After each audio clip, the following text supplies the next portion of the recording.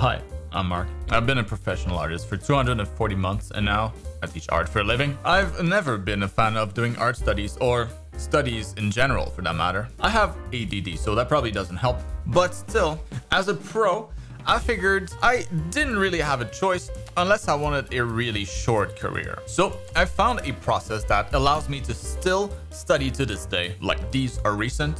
And in this week's YouTube Art School episode, I'll show you exactly how I study drawing, what's worked for me, and how that actually helps me and maybe you too, to learn faster than ever before. Very valuable information, maybe. Oh, quickly, we're late for class.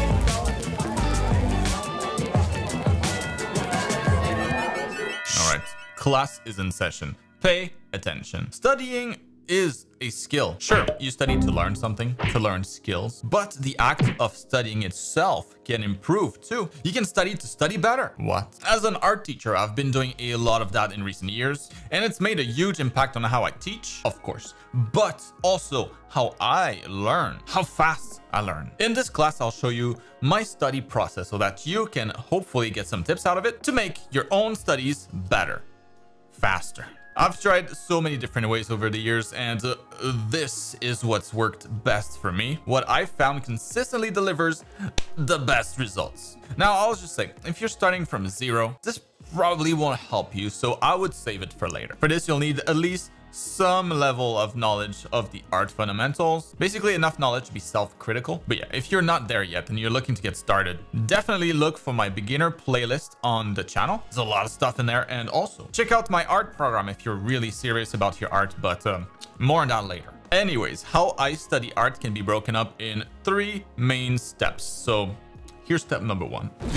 As a basic rule, I never go into anything, anymore at least, thinking that I need to study. My art studies always come as a result of a problem that I'm facing. Always a problem-based approach. 99% of the time, I'll start a new drawing, a new painting, and I'll go into it with the assumption that I can do everything from imagination without reference. That's rarely the case, of course, and this is what the start of my studies might be like. I'll run into a problem, like not being able to draw the folds in a particular angle, having issues maybe with the facial features, some areas of the character's anatomy foreshortened, or maybe I'm drawing an armor, a prop, and I'm not familiar with the with what it should look like. Whatever it is, in any of those cases, I'll always try to push as far as I can draw using what I know or what my best guess might be. But having found my problem, a figurative wall that I've yet to climb over, it'll be time to move on to the second step. And the first step is all about isolating the problem, really figuring out how much I know, and then what exactly I don't know. Now, when it comes to the second step, it's all about observation. I know a lot of artists will just find the exact thing that they need for their specific drawing, you know, like a single reference to copy from maybe and then call it done and move on and that's fine but in my case since I don't dedicate time to pure studies like a lot of artists do I like to spend a little longer on the problem that I've discovered to really make sure that anything similar won't be a problem next time. To do this, I always find a bunch of references from real life, but also from artists that I think are doing that specific thing better than me. It's important to have a mix of both. The real life references show me what it should look like, while the artist references will show me ways to simplify that reference. It basically shows me what other artists have found to be valuable information, you know, from similar real life references, and that's a huge time saver. I think of it as like learning the best talents build in an RPG game like Diablo maybe, or learning cool weapon combinations or vehicle builds in Zelda Tears of the Kingdom. It's very likely I would have eventually discovered the same or, or something equivalent on my own with enough time, but if I don't have to and I can simply reuse the discovery of a number of other artists, then I save myself a huge amount of time. Just like those examples, I'll always end up making modifications and tweaking things to my liking, but you know, the trial and error period is dramatically reduced that way. And now that I have references in hand, I just go in and start drawing. Wait, no, not yet. Like I just mentioned a minute ago, the second step is all about observation. With my references in hand, I'll usually spend a minimum of 5 to 10 minutes just sitting there and observing. Not just looking at my refs, but actively observing everything about it. That's a really long time to just be looking at something, but it's a crucial step and I think it's really been a game changer for me the more I started doing this. I'll say maybe like a few years ago, not that long ago. For this step to be as valuable, however, it's crucial that I spend enough time on step one, that I tried my best to draw using everything I know up until I really hit the wall. And the reason step one is key is because all of that time I spent wondering if what I'm doing is right, erasing, trying again, that all serves to highlight what I should be observing better. It's like a clear piece that's missing in my puzzle, and now I'm searching for it as I observe. I know what I'm looking for. And it's always tempting to just go in and draw already, but I'll always force myself to spend some extra time observing. One trick that I like to use is looking at a reference, closing my eyes and trying to imagine it in as much detail as possible. Then I'll open my eyes and again repeat the process until my mental image is clear enough. After a while, I'll start to draw what I see, drawing the reference from different angles, pulling more references if needed, testing different ways to draw and simplify those references, then go back to observing some more, and then do this over and over again, usually filling up the equivalent of like a sketchbook page full of studies. No guessing here though, only copying what I see from the references.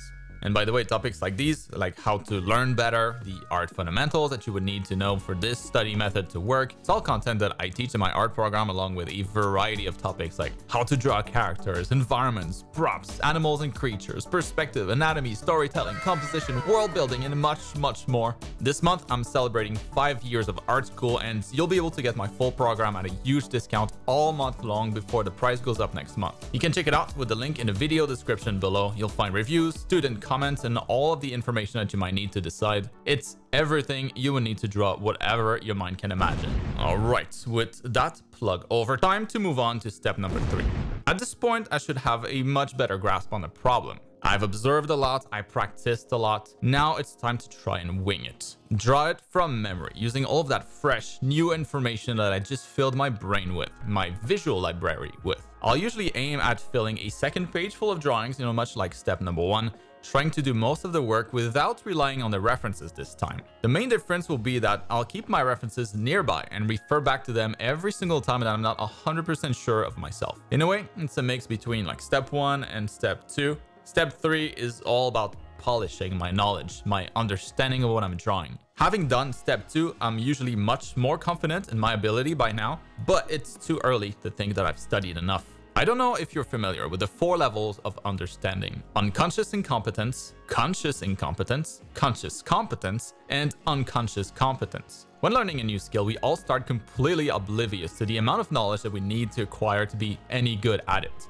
It only becomes more obvious after a good amount of practice. From there, we practice some more until things become easier, under control, and then finally, with enough repetition, we might become a master at it, reaching a level where it's so easy that you can do, you know, something else at the same time, like drawing a simple square maybe, or writing your name. I don't have many art skills that I can think of that are at that last level, but the third level, conscious competence is usually what I aim for for this whole three-step process of study. In my case, I'm not a complete beginner, so I'll usually start as consciously incompetent at step one, and step two and three serve to bring me up to the level of conscious competence. Once I'm done with step three, I'll usually find myself there, you know, consciously competent enough that I can now draw the thing that I was having problems with from imagination, from memory, without having to rely on references in the future.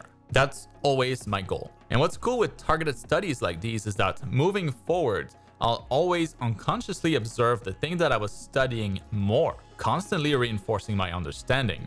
And that's just the Baader-Meinhof phenomenon, or the frequency illusion at play, where something that you recently learned about will suddenly seem to appear everywhere.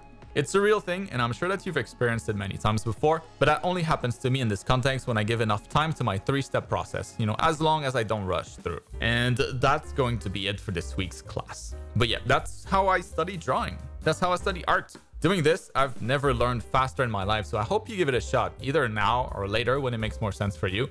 If, you know, you don't already do this, of course. And I hope that was helpful, or insightful at least. And if you've been a good student and followed until the end, well, you win freebies. Check out the video description for a link to download one of my two custom brush sets. It includes the line art brush that I've used for all of today's drawings. It's my favorite brush. Use it responsibly. And I'll see you in next week's class.